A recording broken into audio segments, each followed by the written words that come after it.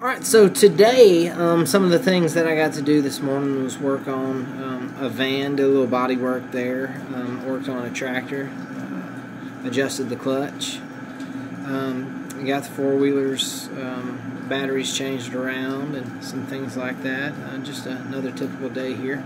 And after that, I went to help with the retaining wall for the rock, sand, and gravel. So um, we got a little bit done there hopefully you'll see a video of that at the end of this. I'm not real sure. Computer's messing up. But today, um, Janina and Kim came by, and Janina has a word for us. I asked her the question. No, no, no. Kim has a word for us. I'm sorry. I asked her the question since she's been visiting all of the other teams, what has kind of been a recurring theme that, that's coming up in each team? So here's Kim.